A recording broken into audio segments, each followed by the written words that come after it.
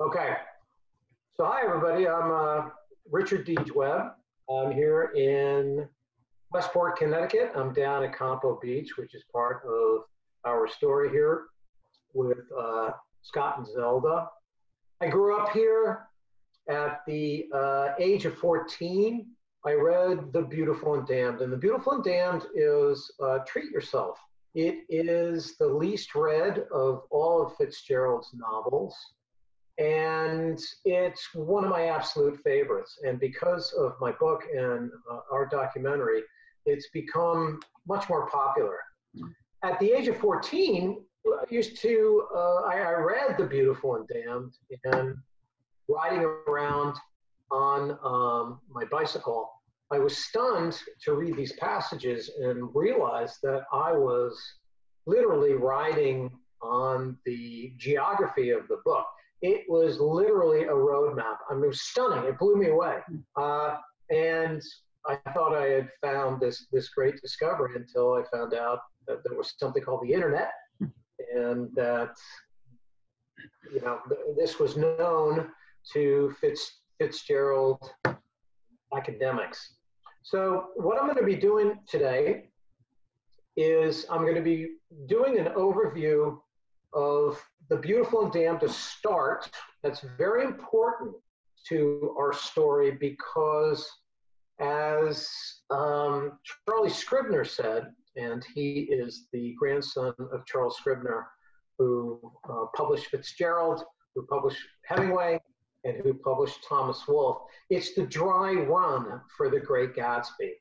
Uh, then I'll get into what you're probably all interested in, which is Gatsby. And I'm going to be showing you uh, two clips from our award winning documentary. Oh, the New Yorker just published the top 36 films of 2020. And I'm talking about the top 36 films, not just documentaries, not just rap videos, not just, but uh, Hollywood, everything. And we came out at number 30, so we made it. And I think um, you might be interested. And of course, I'm going to plug things shamelessly, but uh, uh, you know, let me get started. And again, uh, let me share the screen. Perfect. I bet you can see this, correct? Yes?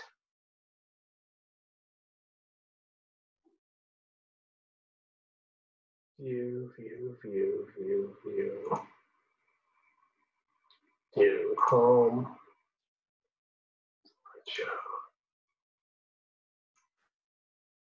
So, can you see this?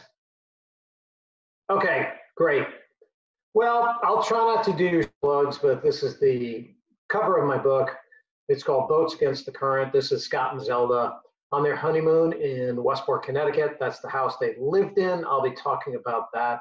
And the reason I, you know, talked about this being boats against the current was when I started to explore the idea that Westport can, was the origin of the Great Gatsby.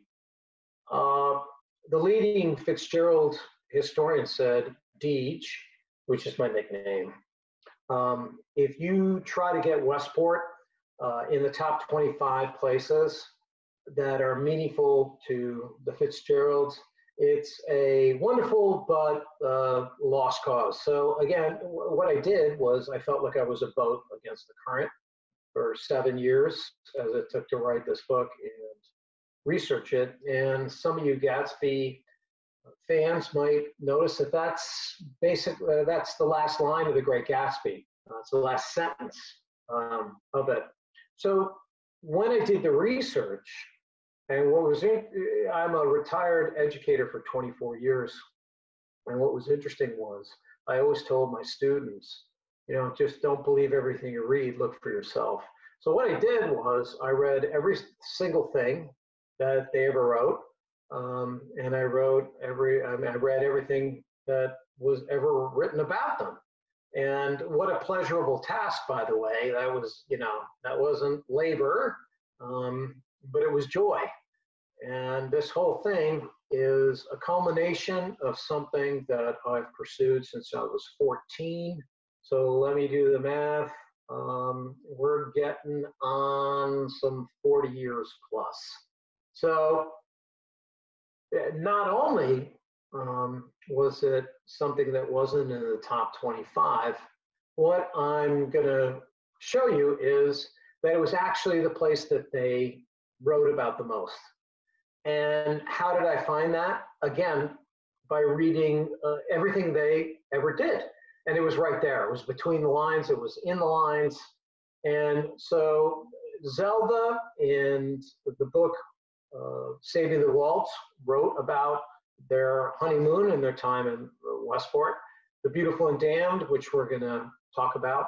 Uh, Scott wrote about their honeymoon in Westport. Uh, Scandalabra, her only play, talked uh, uh, took the premise of The Beautiful and Damned and reversed it. That's about Westport. The Cruise of the Rolling Junk, uh, America's First Road Story, as it was referred to. It's about Westport.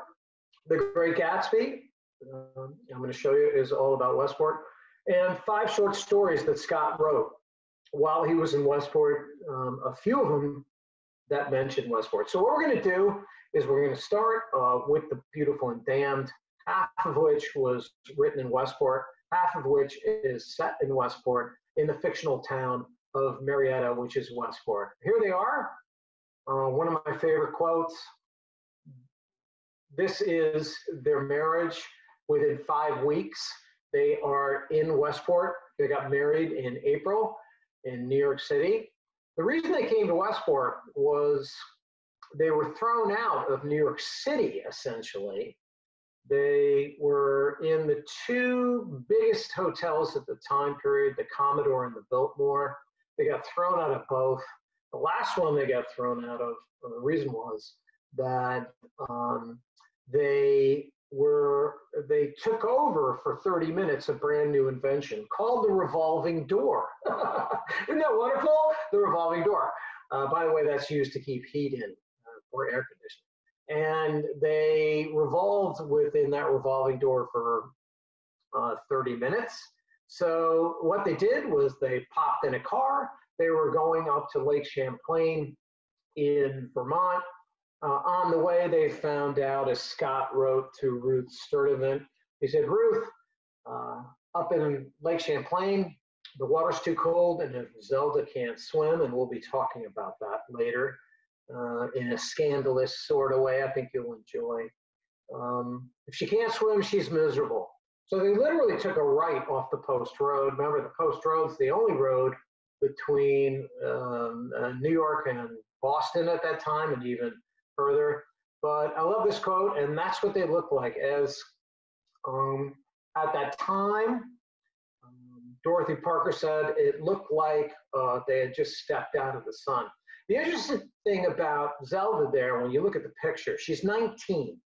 When they were in Westport, she was 19. He's only 24. So you're, you're talking about uh, a college kid in one way.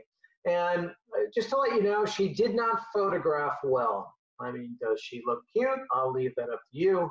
But uh, in person, she was irresistible. I mean, every male, and perhaps some females, but we only have the record of the males, thought she was irresistible. Here is The Beautiful and Damned, half of which is written in Westport, half of which takes place in Westport in the fictional town of Marietta. What I love about this is the artist tried to capture Scott and Zelda. And he said, uh, Scott Fitzgerald famously said, well, that's a pretty good rendition of Zelda, uh, but that's a pretty debauched version of, of me. So um, again, uh, straight out of their history.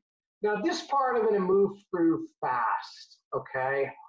So um, don't worry if you're kind of not following it, if you just get the gist of it, I think that um, you know, that'll be uh, important. So they moved to Westport.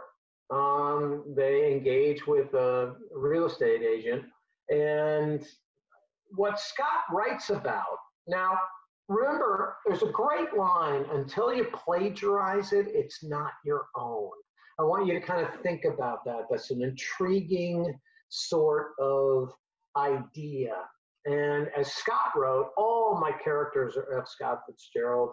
And by the way, a lot of his heroines uh, were uh, Zelda. So here they are. Uh, they're at the Gray House. I lead tours in Westport. Of, they're two hours long. They're beautiful. They're four miles in circumference. They're very, very popular. They're all sold out. But if you're ever interested in this, uh, I do this as a fundraiser for the Westport Historical Society. So here they are at the Gray House. The Gray family, one of the oldest in Westport, owned it. And indeed, uh, it's colored gray then, it was colored gray uh, when it was built, and it's still colored gray uh, today. And again, I won't read you the quotes, but this is just this beautiful quote uh, which showed how old it was. Um, this is the best intact place that they ever lived, historical, historically speaking. Uh, there is an addition on the right that wasn't there at the time, but the porch on the left is the scene of one of the most uh, famous photographs uh, of the Fitzgeralds. You'll you'll see it in many of the uh, histories. Now, don't worry about this. This is you know an overwhelming um, uh, sort of map. It's an aerial map. But what I did was, as a you know 14 year old, I had you know read this scene in The Beautiful and Damned. So when I talk about Gloria, I'm talking about Zelda. When I talk about Zelda, I'm talking about Gloria because it's purely autobiographical, purely. And when I talk about Scott, I'm talking about Anthony Patch, who's the hero of um, that story. And what happened was, in that summer uh, of their honeymoon, was there was this party that Scott and Zelda had, and one of Scott's roommates, they were all completely um, compromised in terms of alcohol. Uh, and one of Scott's um, uh, Princeton friends hit on Zelda and she ran out of the house. So I'll do this really quickly because what she actually did, Fitzgerald wrote uh, step by step, yard by yard. So don't worry if you're not following this, it's just getting the main idea. Um, she ran away from the Fitzgerald house. If you read the book, it's like a road map. She comes here, she goes there, she goes there, and she goes there. So you read the book, and again, it's really fun to read that book because you can tell to your friends most people haven't read it. Again, it's the least read of the Fitzgerald books. So there she goes. She runs the house. Down the different path towards the road. She goes up a little bit and sees this barn. It's the only house in Westport at that time between where the Fitzgeralds lived and downtown Westport. So it still exists today. Uh, side note, my wife and I almost bought it.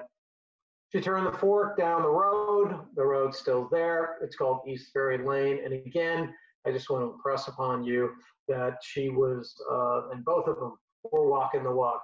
Zelda indeed ran away in a big howling storm from the house. Scott indeed followed her, and he wrote about the entire passages step by step. Just another, you know, reference to the book. And when I lead tours, uh, people are very happy to actually walk this geography. Now watch this. I'm going to ask you to actually read this passage.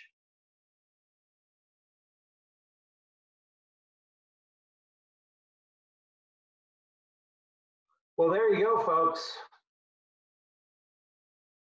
As Charles Scribner, and who is Charles Scribner again? His grandfather was the great owner of Scribner's and Sons, Wolfe Fitzgerald Hemingway. And here Fitzgerald is trying out for the first time the dry run of the single most important symbol uh, of the Great Gatsby. Indeed, I would like to argue the most sim- important single symbol in American fictional history um, in the 20th century. The green light, the green light that we all strive for, the green light that we all, for the most part, fail to get, but it doesn't matter. It's the pursuit of that green light that you can only do in, in America. And again, until you plagiarize it, it's not your own, right? And here you go. And if you think about it, everybody's got a story. Everybody can write about their own lives. So those of you that you know don't think that you can write a book, you can. If Fitzgerald's writing about his own life right now, and he's already floating the green light. Um, he plagiarized himself. By the way, that's it makes it easier to write a book because you've already written parts about it again, um, and you can you know write about them again.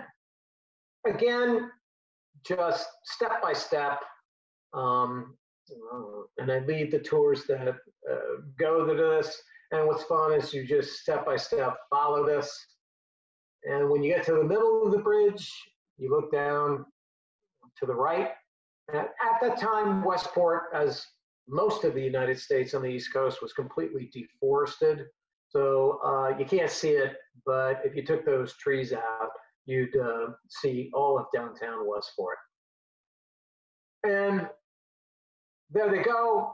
Um, Scott and Zelda used to like to sit on the roof of this um, train station. It's still there. It's still largely intact from when they were. They would sit up there. What they would do is drink all night um, and stay up all night and then climb on the roof of this and wait for the 5.30 train to uh, New York City.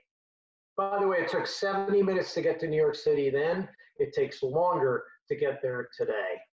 All right, so I'm gonna make a transition. So please um, hang with me here for a second. And again, let me know if I am not showing this, but again, a famous, famous, I mean, famous, well, it's famous picture, the shameless, hold on. Can you see this?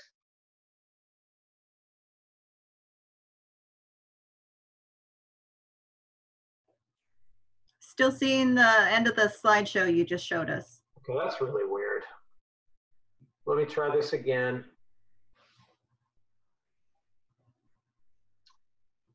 Now you should be able to see your the- book.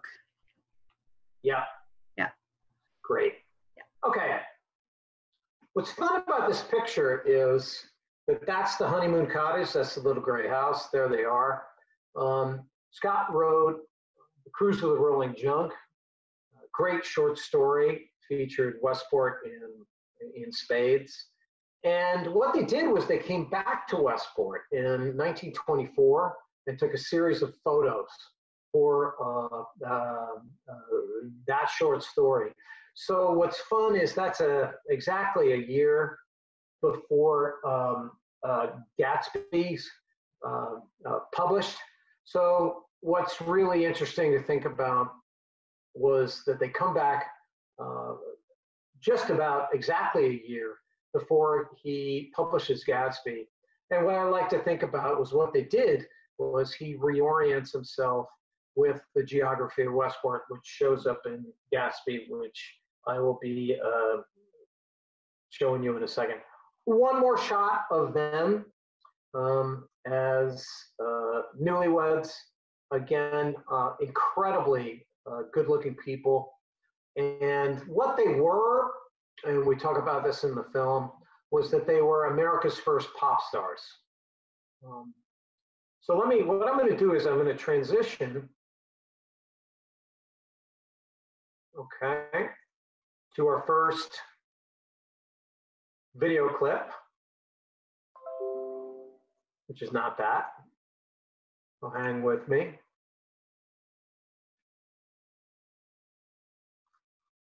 And first thing I want to ask is, can you see this? Yes? I just see, um, what's his name? Uh, his, his estate.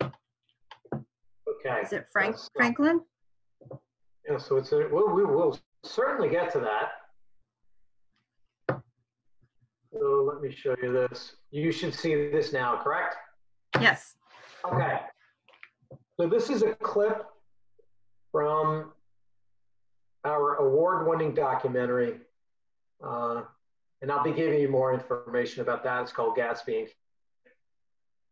And the New Yorker just published the top 36 films in America for the entirety of 2020, and I'm talking about every single film uh, that was made. And uh, not only did we crack um, those 36, we were number 30. So I'm going to show you a couple of clips from uh, the film, and this is the first one.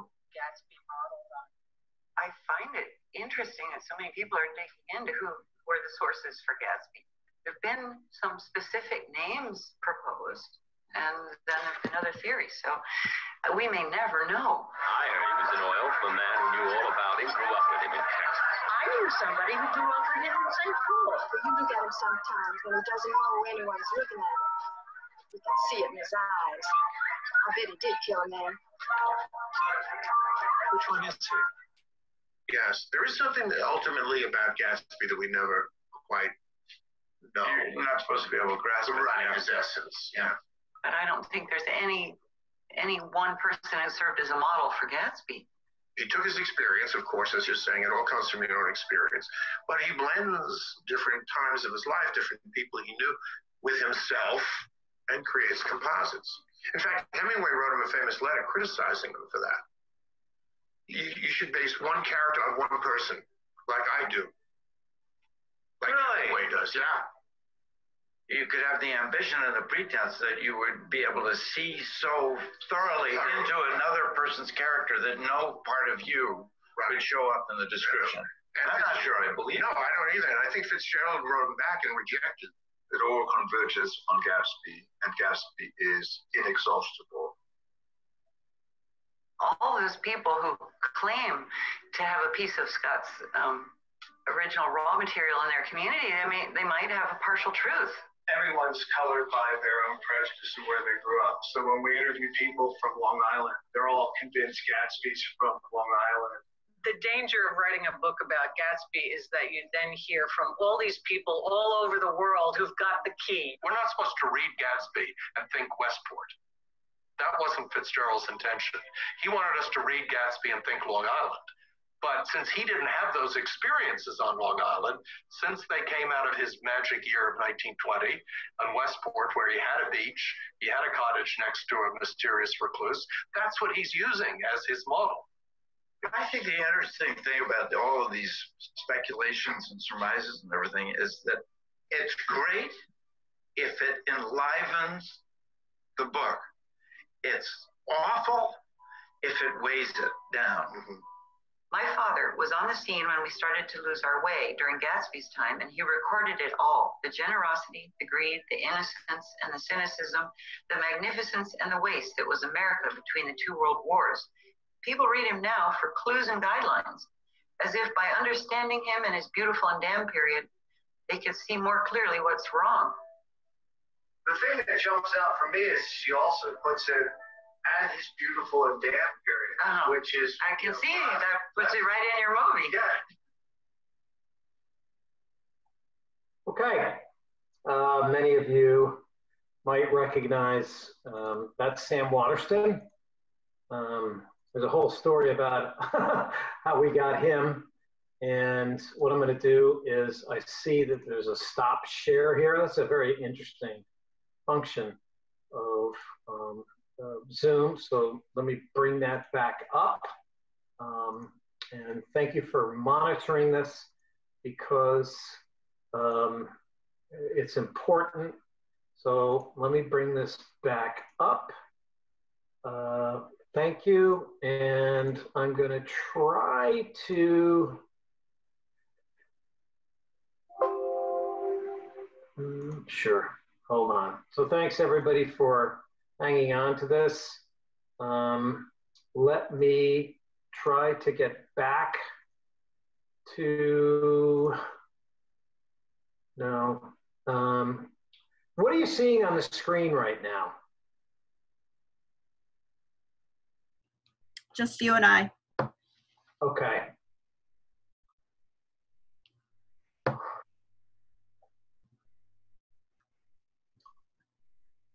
All right.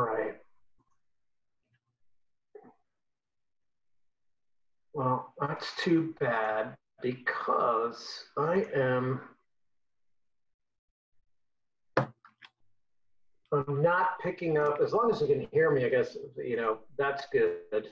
Um, I'm not picking up, I'm gonna go back to, and again, folks, thanks for hanging with me. Um, here we go. And here we go. So you should be seeing this. Yeah, great. Thank you. Okay, so now we get to um, who is Gatsby? And here's the aerial state photo of the mystery millionaire F.E. Lewis. And Scott and Zelda lived on the corner of this estate, just like Nick Carraway lives on the corner of Gatsby's estate. And by the way, the idea that Gatsby is set in Long Island, Great Neck to be specific, is it's correct. Uh, what I like to say is that Gatsby is a beachy blend of uh, Westport and Great Neck. What's interesting is when we did the research, um, you know, obviously you go to Great Neck, and we found that they were inland. They were far away by a couple of miles um, from the coast, and that does not fit Gatsby uh, by a long shot. So Scott and Zelda lived on the corner of this 175 uh, acre estate. I'm just going to point it out. Here it is. That's the home of the mystery millionaire F.E. Lewis. Um, you see here a reflecting pool, a bandstand, multiple beaches. We're going to talk about this boating complex and uh, that tower there as um, uh, we, we progress. Scott and Zelda enjoyed uh, walking down here, going to the reflecting pool, going to the bandstand, and going out here and um, swimming. Just a quick editorial note when I started researching F.E. Lewis seven years ago, there was one thing on the internet, um, and that was it. It was an obscure reference to a banking investigation. When I reached out to the family, they refused to speak to me. Um, but since then, uh, as you're going to see, we made a lot of progress. Here he is, F.E. Lewis on the left at Longshore, the great estate that Scott and Zelda lived next door to. Uh, there he is on the right. He was a major boater. Uh, we're going to be talking about that. Um, and is uh, uh, uh middle aged at the peak of his powers. There's the Longshore Estate, uh, which Scott and Zelda visited. And what's interesting is when you look at this photo, okay, this is 1920, and we're talking about a mansion. And obviously, Gatsby lived in a mansion.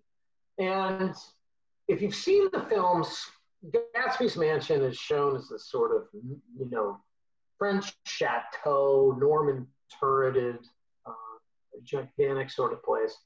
And, and indeed, it's described like that in the novel. But what it's also described at in the novel is this ramshackle place. And as Charles Scribner III uh, pointed, he goes, uh, Deej, you know what? Um, this is a ramshackle mansion. There's a lot of architectural details here. And in these days, with these great McMansions, uh, this may not qualify as a mansion, but in 1920, and well, I think it does, but in 1920, it definitely qualified uh, as a mansion. Here it is today. It's still 175 acres.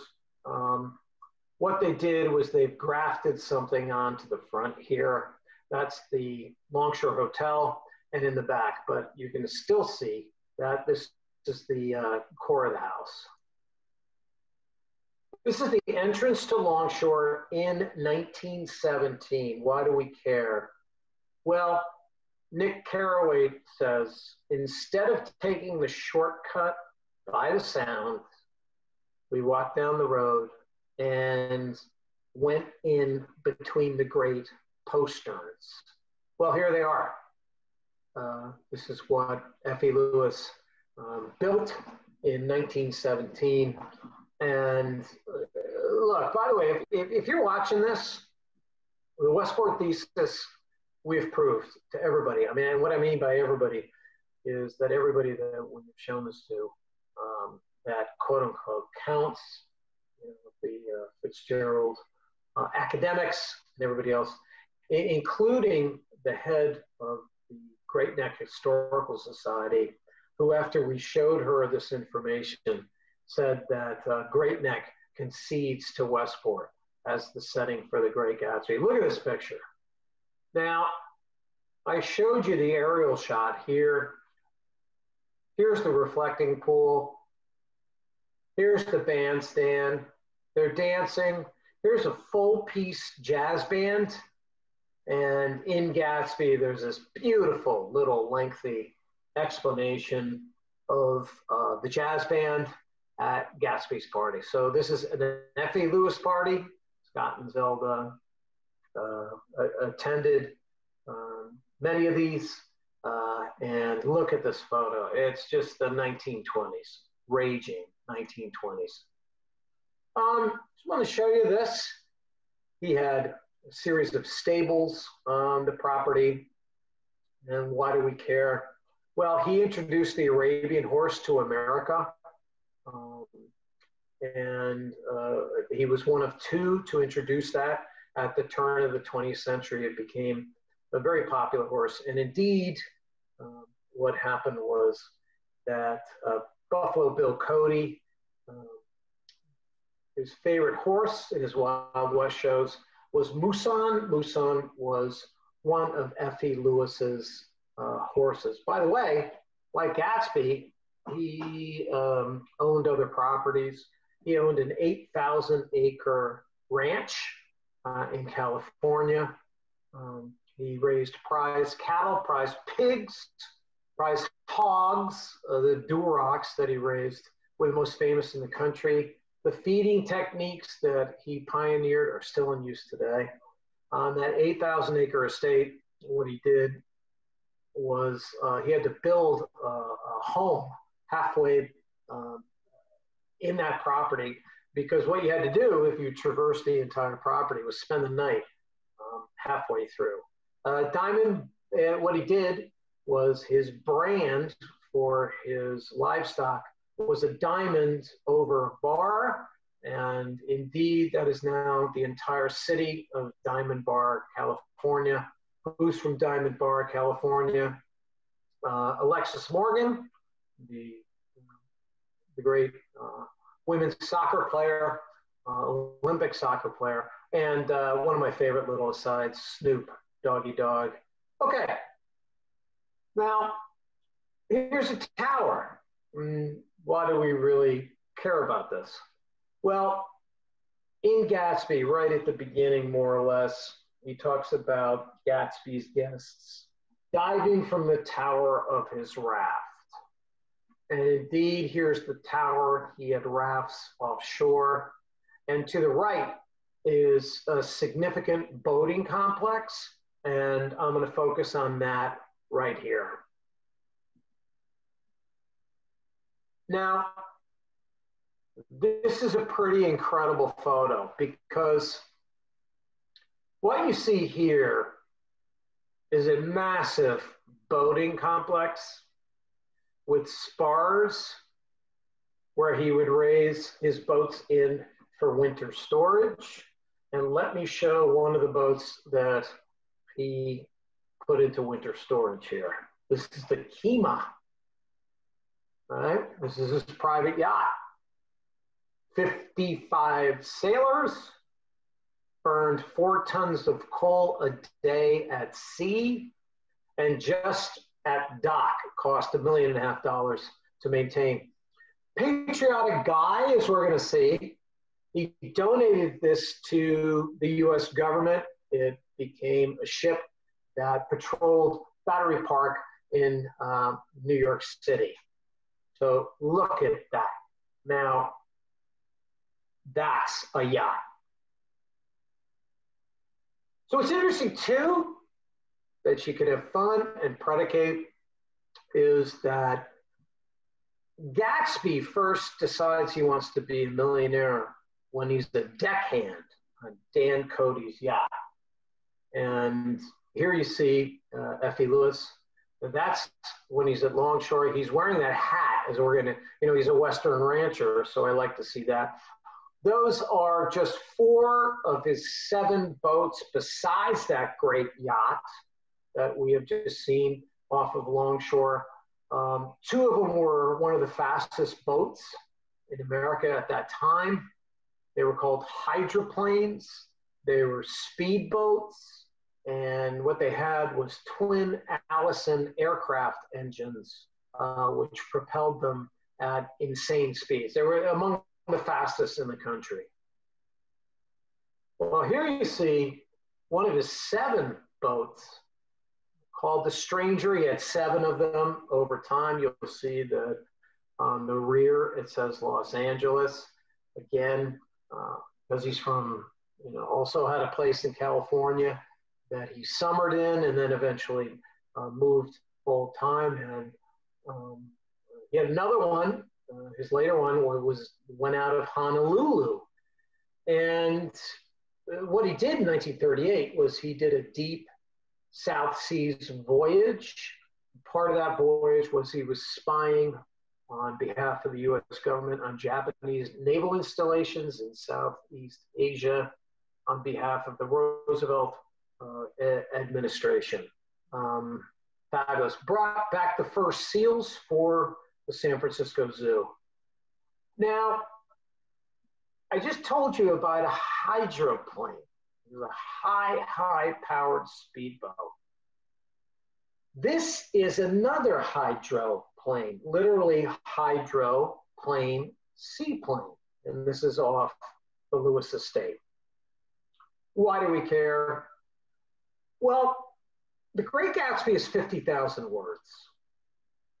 It is one of the most compact books ever written.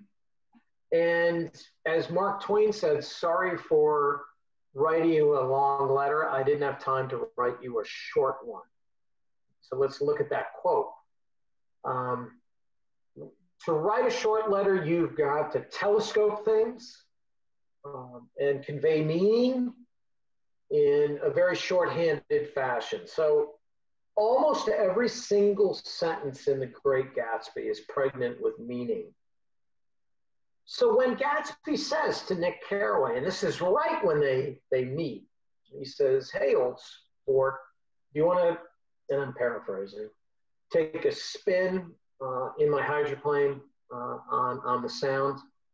It had a double meaning. So readers would have thought either it's one of these fantastic high powered um, speedboats, or it's one of these, which is a seaplane. Now remember, this picture is 1917. The plane has essentially just been invented.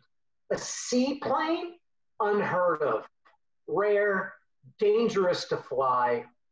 Um, and if you owned one of these, it was the equivalent today of Elon of owning one of Elon Musk's um, uh, spaceships. Um, so again, it, it's a double meaning, and Fitzgerald was was quite uh, aware of that. Well, here's F.E. with one of his four wives. Yep, he was married four times. Uh, his last marriage was to the 18 year old daughter of his college roommate. So he was a bit of a rakish um, figure. Uh, I'm showing you this car because what he was was a champion race car driver too. So in analysis of things like his uh, motoring magazines between 1907 and 1914, He's in many of them. Um, he never won first place, but he often paced uh, third or fourth. And what I love about this is in 1907, uh, the winning car uh, won at a speed of 40 miles an hour. He owned three of the most expensive cars at the time period. Two of them in 2018 dollars when they did the research, so it's more more now. Two of them were worth $160,000 in today's money. One of them was worth uh, a, a cool $240,000. All right. Um, we're kind of at the crux of the presentation here. And I'm just going to let you take some time to read the top headline on the left and the, the top headline on the right.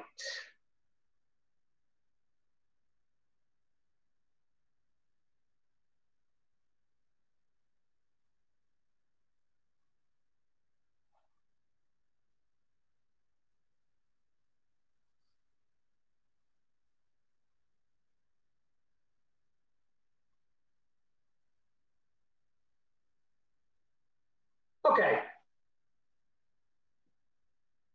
Here's the Gatsby party. Here's the template. In 1917, F.E. Lewis hosted the greatest party in Connecticut history to this day. Pound for pound, I'll argue it's the greatest party in American history, privately done. It was a World War I fundraiser, and it went on all day. And who did he bring in? First of all, people got to fly. In 1917, if you were able to fly, today it's going up and flying in space. He brought in a multiplicity of entertainment. David Belasco uh, hosted a play at this fundraiser. Who's David Belasco? If you see any Broadway play, if you see any Broadway musical, he invented the template for the stage presentation and the lighting. He was also the manager for Ina Claire. There's the picture of her. Ina Claire was Fitzgerald's favorite actress. She made at that time period, and this is not adjusted for inflation, this is the money at the time $5,000 a week. She's the highest paid American actress at that time. And she's there, and Belasco is managing her. Uh, Fitzgerald had pictures of her uh, put up all on his dorm room walls at Princeton, and indeed, he wanted her to play Nicole in Tender Is the Night uh, in the Hollywood uh, version. John Philip Sousa and his band came. He's the king of the march music. You don't know who he was, he's incredibly famous. And not only that, he um, composed a piece specifically for the event. Houdini, there he is. To get Houdini to come to your party, that's insane. Uh, and what they used to do was push Houdini off the dock, and um, you know he'd escape. But Lewis went one step further. He was uh, raised and lowered by a crane into Long Island Sound. Uh, those cranes being used to uh, use the ships. Annette Kellerman was there. Annette Kellerman did two things that's incredibly famous. She was a champion swimmer she invented the sport of synchronized swimming. She um, invented a radical new swimsuit, the one piece swimsuit, um, which Zelda wore. Zelda wore Annette Kellerman's one piece swimsuit. She was one of the first to do it. And what she used to like to do, it was very racy. You know, there was there was no greater revolution in women's swimwear until the bikini of 1946. And what Zelda used to do was she would intentionally pick a tan beige color so it made it look like uh, she was uh, nude while she was swimming. Marceline the Clown, most famous clown in American history. Um, he had a cartoon called Marceline the Clown that somebody uh, drew a series of his adventures. He did a 10 year residency at the Hippodrome in New York City. This is, you know, we're in a time period where Celine Dion did a year. We're in a time period where um, people do, uh, you know, Britney Spears a year in Las Vegas. He did 10. And Charlie Chaplin, the most single famous important actor uh, in the history of film. What did he do? He plagiarized Marceline. So when you watch Charlie Chaplin, that's what Marceline used to do. And Charlie Chaplin was pretty open, saying he um, copied him. Whole animal circus shipped out of New York. So in New York at the time, they used to have a zoo down on MacDougal Street. And the, you know, these animals were rented out to like the Metropolitan Opera and to various, you know, musicals and Broadway plays. He rented these. These are lions and tigers and giraffes and bears, half of which were brought up by barge from New York City. The other half were brought up by private train. Um, one of my favorite stories about this entire event was first of all, 800 cars were parked at this event. 800 cars in 1917 is a staggering amount of vehicles. Very few people even owned cars. I don't know what the numbers are, but if I were to, you know, add up the number of cars in Connecticut, maybe it's a thousand, and 800 of them were there. What he did was the great piece de resistance midday was that the partygoers saw a stagecoach being pulled by Lewis's horses at a furious rate of speed.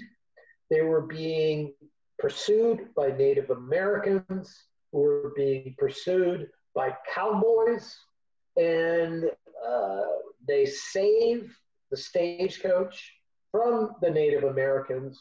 And who is the lead cowboy? It's F.E. Lewis in a giant white outfit on a white stallion with a great white hat. By the way, these cowboys are from the West, and these Native Americans were shipped east. They are true Indians Arapaho, Sioux, Lakota. Incredible. All right, take a look at some of these headlines.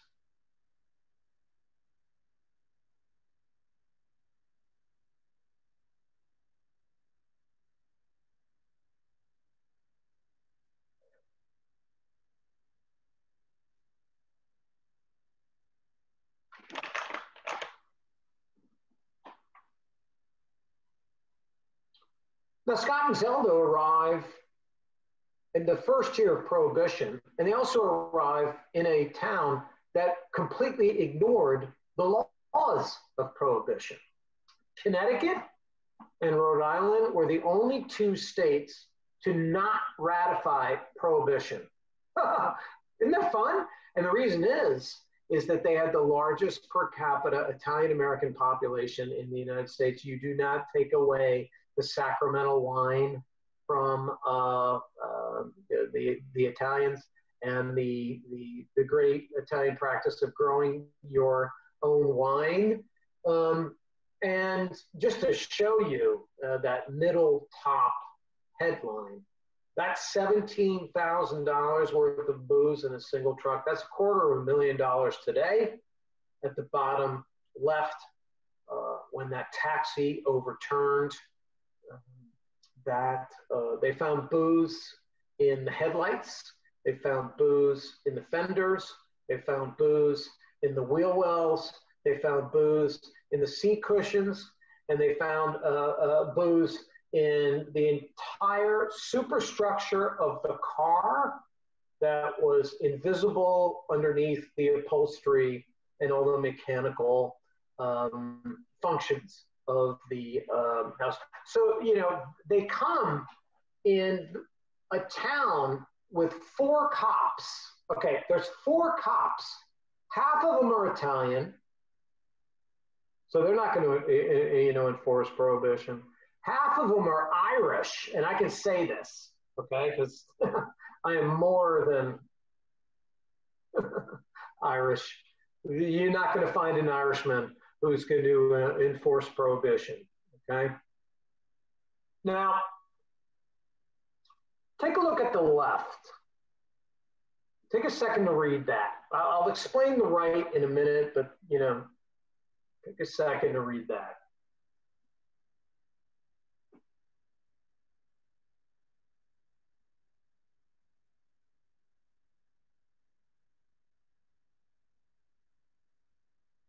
So this is the local newspaper, and they report Fitzgerald getting into an accident. He's, by the way, he's on the way to what you see on the right, which is the Miramar, which is the most famous speakeasy between New York and Boston. George Raft, Humphrey Bogart, Jimmy Cagney uh, were patrons. And what is the link to Gatsby here is that you'll notice that Scott, they, they were probably drinking before they even got in their cars.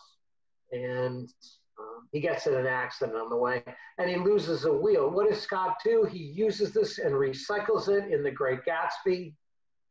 When in, I think, the first or second major party scene in Gatsby, what does one of uh, the guests do? Gets in an accident and loses a wheel. So Scott recycled his own experience uh, here. Here's the Compo Inn. This is another place uh, which was to our story just as important. This was a famous speakeasy too. It had a deep um, hill of a drive two accounts that we have verified eyewitness accounts of Zelda hanging on to the hood ornament at the front of a taxi uh, for dear life as she descended uh, this road. Um, one of the two accounts says she was naked, uh, so you can pick what account you want. But to the right is the guy who supplied the bootleg alcohol to the Compo Inn. Um, was owned by Jake Levy, and the brother-in-law of Jake Levy, who supported, you know, who sent all the booze uh, to the Compo Inn and Westport, is the guy you see on your right. Now he's Bald Jack Rose, so famous at the time they named a cocktail after him, the Bald Jack Rose, and he controlled uh, the rum running operations in all of Fairfield County. Who was from Norwalk, Connecticut, but he shows up in Gatsby too. Why Meyer Wolfshiem, who I like to think was predicated on Bald Jack Rose. Meyer Wolfshiem talks about the murder at the Metropole of Rosie Rosenthal, an actual event. There was a murder there by Jewish gangsters. And Bald Jack Rose turns state's evidence uh, uh, against the murderer, who was a corrupt New York City cop. So there you see Meyer Wolfshiem.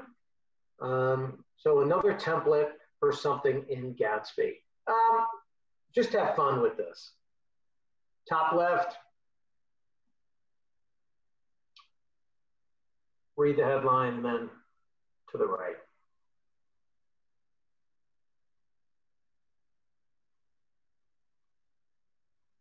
So they enter a town. By the way, at that time, the great literary critic Van Wyck Brooks said that the entire cultural and literary axis of the United States passes through Westport. And it was also a hell of a party town. What Scott and Zelda did was that Edmund Wilson, the great literary critic of the time, and also a personal friend of Scott, said that Scott and Zelda engaged in the nude orgies of Westport. So, you know, look, this is gloves off, fun time. And again, what do you see in Gatsby? gloves off, fun time. Uh, that's so fun. All right, just um, in 1925, they sold Longshore.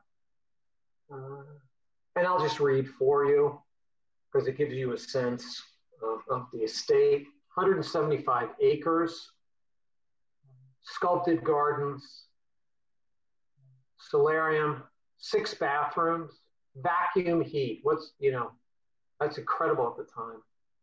Fireproof stables, and one mile of waterfront directly on the sound. Um, fabulous. And there again, you see the boat complex there, and you see the great posterns.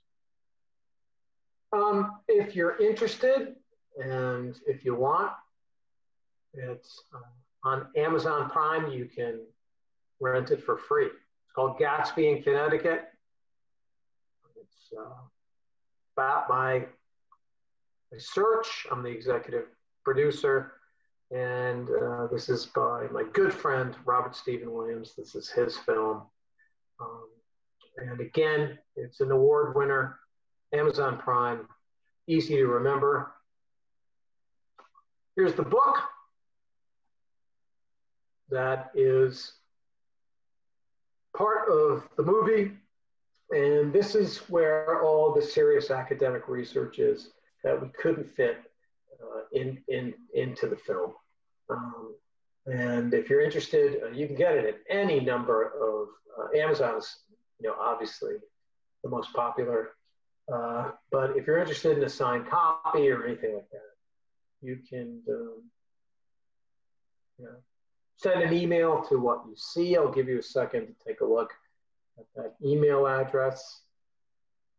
And then I'm going to show you a clip that, you know, obviously I've seen so many times that's in a film, but every time I see it, and I'll probably do it now, I get at least a lump in my throat. So if you're interested, further information, um, library's got a copy. Uh, thank you for that. And um, boatscurrent at gmail.com. So what I'm going to do is I'm going to close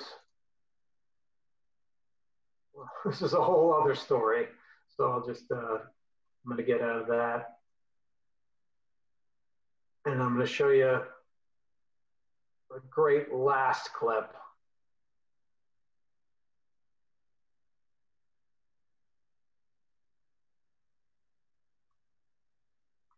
You should be able to see this. Do you see this? Can you see this? I did, and then it went away. Weird. It should be on. Hmm?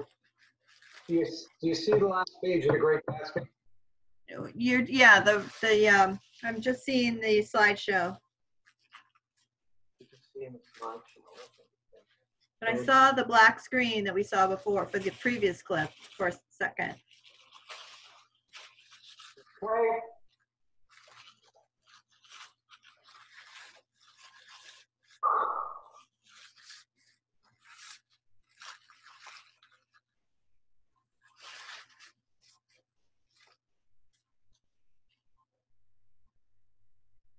There we go. Oh, okay, great. So this is Sam Waterston, and this is a highly emotional moment. He's reading the the ending of the greatest ending of 20th century literature of The Great Gatsby.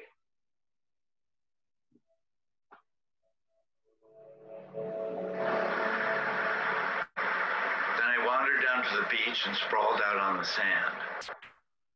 Most of the big shore places were closed now, and there were hardly any lights except the shadowy moving glow of a ferry boat across the sound. And as the moon rose higher, the inessential houses began to melt away until gradually I became aware of the old island here that flowered once for Dutch sailors' eyes. A fresh green breast of the new world. Its vanished trees, the trees that had made way for Gatsby's house, had once pandered in whispers to the last and greatest of all human dreams. For a transitory, enchanted moment, man must have held his breath in the presence of this continent, compelled into an aesthetic contemplation he neither understood nor desired, face to face for the last time in history with something commensurate to his capacity for wonder. And as I sat there brooding on the old unknown world, I thought of Gatsby's wonder when he first picked out the green light at the end of Daisy's dock.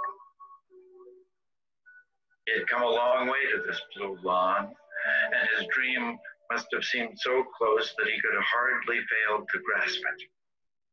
He did not know that it was already behind him, somewhere back in that vast obscurity beyond the city, where the dark fields of the Republic rolled on under the night. Gatsby believed in the green light, the orgastic future that year by year recedes before us. It eluded us then, but that's no matter. Tomorrow we will run faster, stretch out our arms farther.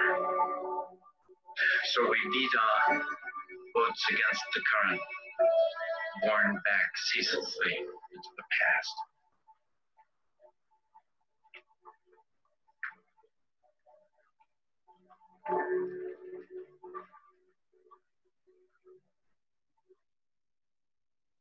Oh boy, every time I see it, every time I see it.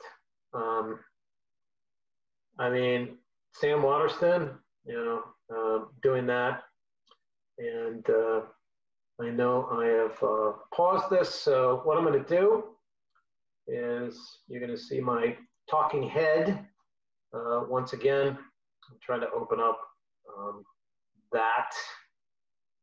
Let me see. So no, it's not obeying me. And again, that's that's classic.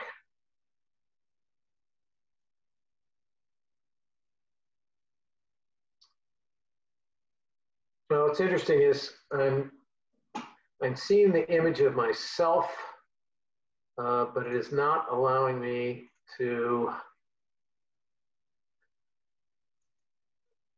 It's weird. This is classic. Yeah, it's not, it's not opening up. Um, so give me a second and let me see. I promise this isn't me, uh, but this is, no, I don't want to do that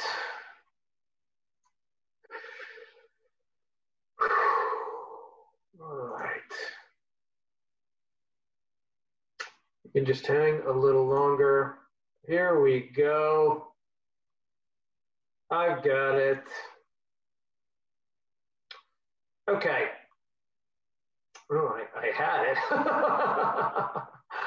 so hold on, stop share.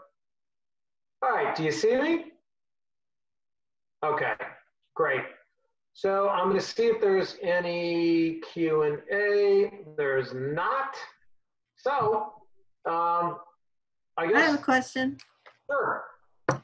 Tell, so you, you alluded to Sam Waterston. Um, tell us how that, how he, how he got involved in the project, because I think that really added a lot to the film. Oh yeah. So yeah, you're right. Thank you. Good, point. So a good friend of mine, Noel Parmentel, 90 years old, knew Sam. Now Noel was a very famous journalist at one point. He, uh, among other things, he had the great quote about Richard Nixon: "Would you, um, uh, you know, buy a used car from this man?" so he was, a, he was a very famous journalist, and he said he knew Sam, and I was like, "Okay, no, really, you do?" Well, two days later, I called Sam through uh, Noel's contact. Um, Sam picked up the phone. He talked to me for 45 minutes. He was uh, one of the great gentlemen I've, I've ever, ever had to deal with. He, um, Uh, he, by the way, he is as literate as a person as he is a great actor. He's from one of the oldest families in America. He's from uh, Boston Back Bay. So it was, it was from a mutual friend. I thought it would never happen. Um, and what, what I did was I sent a car to pick him up, to bring him to Longshore, to bring him to Westport. He said, uh, Deej, I'll give you an hour. And five hours later, he left. Uh, he was so into it. So it was, you know, absolutely, absolutely wonderful. Okay, anything else? Uh, I don't see anything else. I just was really impressed with the comments that he made uh, in the film. Uh, they were so astute. I was very impressed. I, I've been a fan of his for a long time. I think he's a wonderful man, but an actor. But I was really impressed at his um, comments, literary comments about the book.